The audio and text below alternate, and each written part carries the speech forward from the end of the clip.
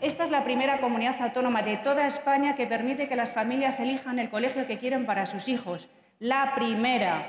Esta es una bandera que siempre fue del Partido Popular y que yo creo que lo que quieren hacer ahora es arrebatársela, pero es que al final, intoxicando, no se llega a la verdad. Aquí no hay un sistema de adoctrinamiento como ha habido en otras comunidades autónomas. Aquí siempre hemos antepuesto la educación nacional, no hemos hecho regionalismo y no hemos conducido a ningún niño hacia ningún tipo de ideología ni de práctica. Aquí no se da zoofilia en los colegios, aquí no hay adoctrinamiento, por más que hace oír les esté haciendo el trabajito por las redes sociales pidiendo una y otra vez, pasen un solo ejemplo, porque como no lo hay, intentan hacer de la anécdota categoría. Díganme un solo centro en la Comunidad de Madrid donde se esté adoctrinando y ahí actuaremos. Díganme un solo profesor que esté adoctrinando y ahí actuaremos, pero no pueden intoxicar a las familias con vídeos que son terribles, que son manipulados, que no son ni siquiera de la Comunidad de Madrid, preocupándolas de esa manera innecesaria.